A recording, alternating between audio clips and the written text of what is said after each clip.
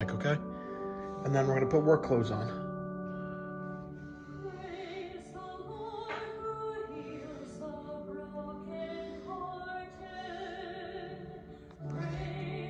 Stop talking about shirts. Stop talking about shirts.